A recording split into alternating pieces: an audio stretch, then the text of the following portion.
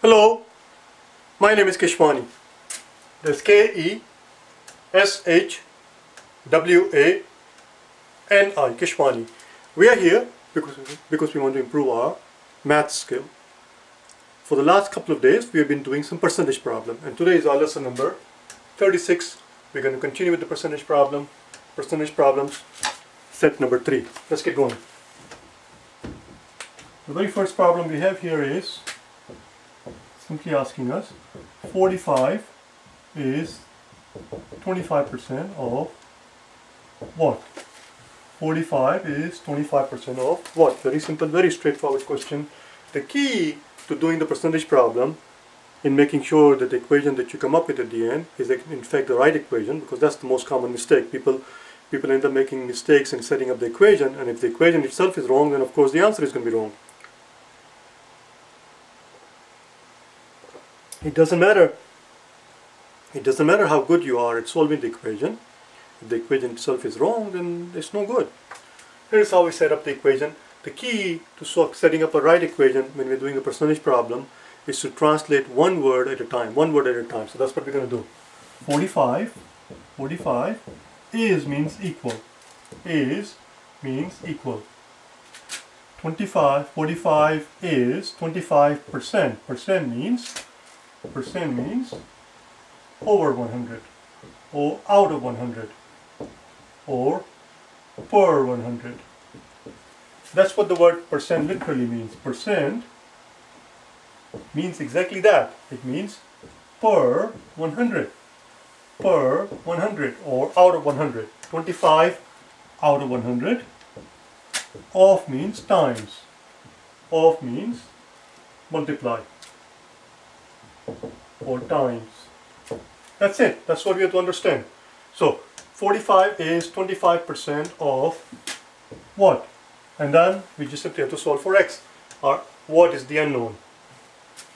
What is the unknown which traditionally we represent represented with letter x, but of course you could use any letter you want.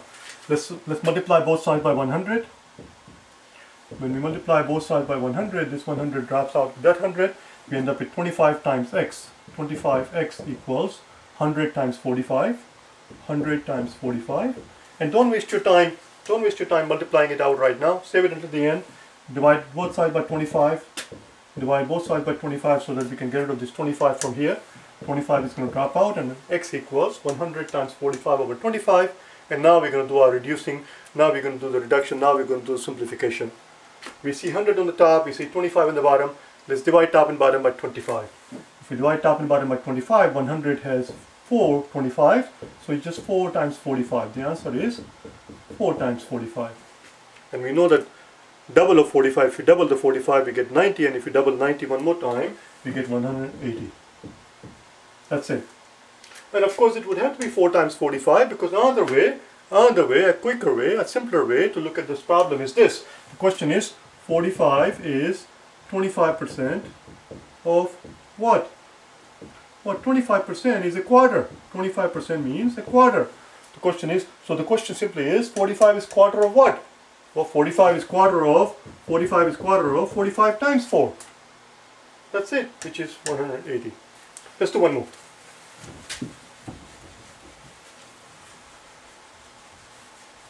Remember, percent means per 100 percent means per 100 is means equals. Of means times. Of means times. What is your unknown? Percent means out of 100 is means equal. Do one more.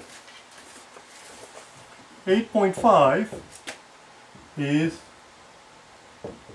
what percent of 1700. 8.5 is what percent of 1700. Now if you like, you could actually pause the video and do the same thing what we did just now, set up the equation, do it yourself. You will get more out of it that way. 8.5 is, we know, is means equals. What means our unknown, which we represent with letter x percent means out of 100 off means times 1700. That's it. We see 100 at the bottom. We need to get rid of this 100. Let's multiply both sides of the equation by 100. If we multiply both sides of the equation by 100, this 100 is going to drop out with that 100 and we'll end up with x times 1700 or 1700x equals 100 100 times 8.5 let's divide both sides by 1700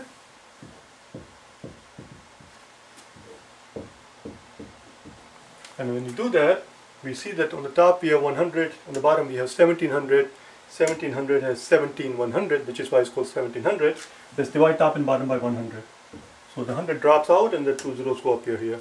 So it is 8.5 over 17 and what fraction would that be? 8.5 over 17 we know half of 16 how much is half of 16 half of 16 is? Half of 16 is 8 we have 17 and therefore 8 and a half is a half of 17 8 and a half is a half of 17 now what we're going to do is we're going to put, put out so what, what we're claiming is that the answer is half. Not half percent but half what we're going to do is where we see the word what here in the problem wherever we see the word what we're going to replace it with 2 because that's what we were solving for. We were solving for this unknown what and that turns out to be half. Let's put it in here. And now the question reads now the question reads eight and a half is eight and a half is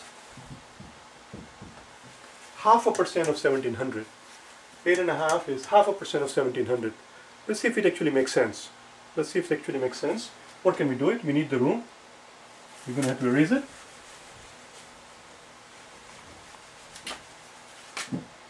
Well, we know 10% of 1700. How much is 10% of 1700? Whenever we want to find 10% of something, 10% means take a tenth of it. And if you want to take a tenth of it, you just drop one zero. It's going to be 170. 170 represents 10%. Therefore, therefore 1% of 1700 should be 17 which makes perfect sense. But that's exactly why it's called 1700 1700 means there are 17 of them and therefore 1% of 100 is 1 therefore 1% of 1700 should be 17 so that's 1% let's take a half of that. If we take a half of that we have to take a half of that.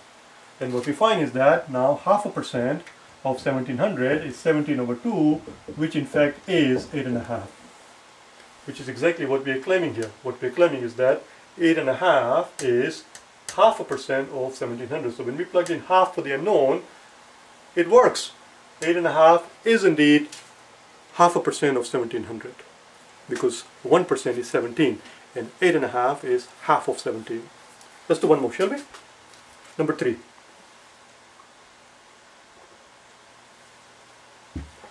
Number three.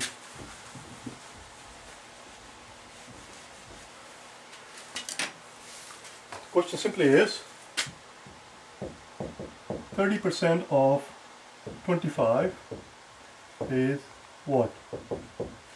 30% of 25 is what? Again, same exact same exact logic, same exact same exact method, same exact method, same exact logic, same exact rationale, which is simply to translate one word at a time until the equation emerges by itself. 30 percent means over 100 of of means of means times 25 is means equal. And what is our unknown? That's it. So here we don't have to do any manipulation. X is there by itself. We just have to figure out this part Let's divide top and bottom by 25. I see 25 on the top, I see 100 on the bottom. Let's divide top and bottom by 25. And we know there are 100, 100 has 425. So we get 30 over 4. x equals 30 over 4. Half of 30 is 15 and half of 15 is 7.5. So what we're claiming is that 30% of 25 is, what we're claiming is that 30% of 25 is seven and a half. Because wherever we, we see the word, word what we replace it with the value of the what that we found. The what was our x here that we we're claiming the x is seven and a half. We replace with the word we replace uh, the word what with the answer seven and a half put it back in the problem and see if it works. That's what we're going to do. Let's do it here. We we're dealing with 25 we know 10% 10% of 25 how much do you suppose 10% of 25 10% of 25 is going to be two and a half it's going to be two and a half if 10% of 25 is two and a half or 2.5 then it stands to reason that 30% should be three times the amount. 30% should be three times this amount. How much is three times? How much is three times? Three times two and a half, do you suppose? Three times two and a half, that's very straightforward to figure out. Break it up. Three times two is six. And three times half, three times half is three halves because there are three of them. there is a half here and then we multiply by three. So we're going to end up with three of them, three halves. Three halves is right there, which of course is the same as 6 plus 2 halves plus a half. And of course, 2 halves is just one. one, uh, one whole thing has two halves in it. So it's 6 plus 1 plus half. 6 plus 1 plus 6 plus 1 plus half is 7 and a half. They match. It turns out that 10% of 2 and 10% of 25 is 2.5 and, and therefore 3 times 2.5 would be 7.5 which would represent the 30%. Let's do one more, shall we?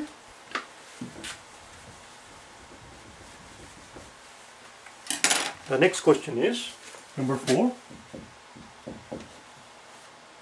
150% of 68 is what?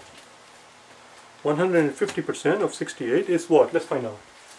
150 percent means over 100 of means times of means times 68 is means equals and what is our unknown don't confuse this is my unknown and this is my multiplication sign for the multiplication sign I raise my hand unknown the x is continuous so that's it. We have our x by itself. We just have to simplify it. Let's do it together.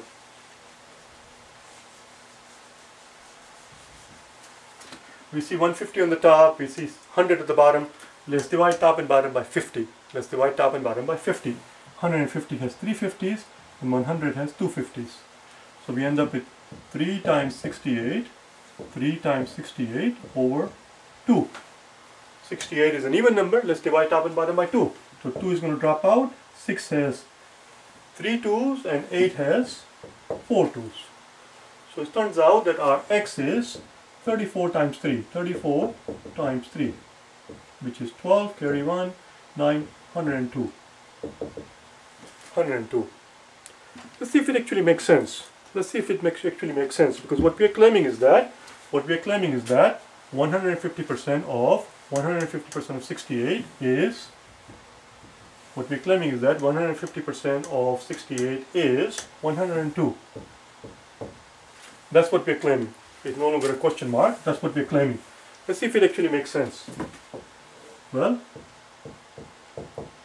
100% of 68, 100% of 68 is of course 68.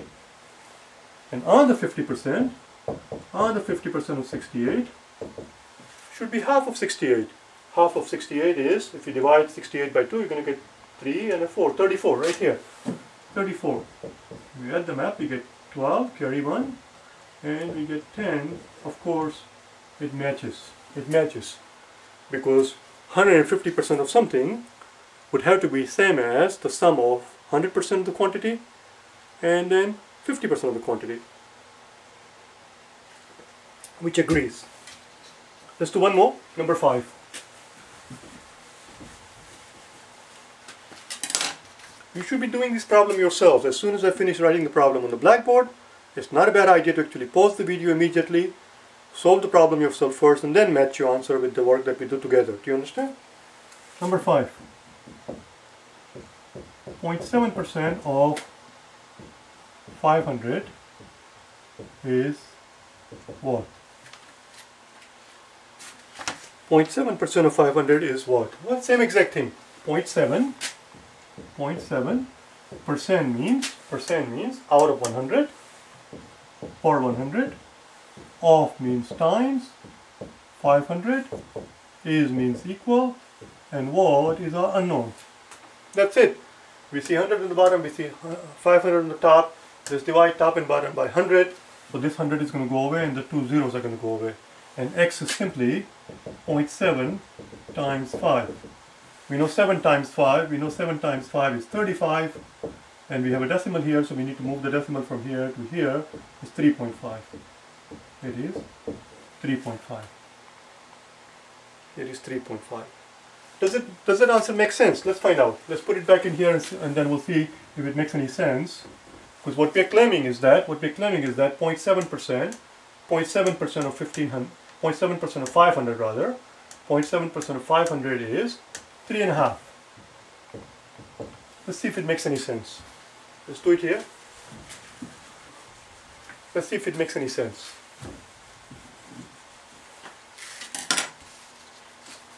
Well, we know 1% of 500. How much do you suppose 1% of 500 is? 1% of 500 is 5. Well, if 1% of 500 is 5, it stands to reason then that the 7%, 7% must be the 7 times the amount, which is 35. Now that represents 7%. We don't want 7%, we want 0.7%. Well, if you want 0.7% and this is 7 times 1, 7 times 1 is 7, we don't want 7, we want 0.7, we need to divide this by 10. And if you're going to divide that by 10, we must divide that by 10. And if you divide that quantity by 10, 5 will drop out and 10 will become 2 and we end up with 7 over 2 which is, what do you know, 3.5, same as before. It makes perfect sense. It makes perfect sense. Solving a problem is like a jigsaw puzzle. All the pieces have to fit together. When you get the answer at the end, ask yourself, pause for a second, stop for a second and ask yourself, particularly when you're doing them for practice. In real exam I can see that you're rushed for time, you're pressed for time and you, you don't have this luxury of stopping there and analyzing it to death.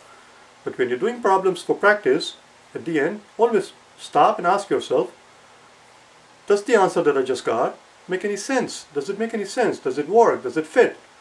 Do all the pieces of puzzle fit together? You understand? I know.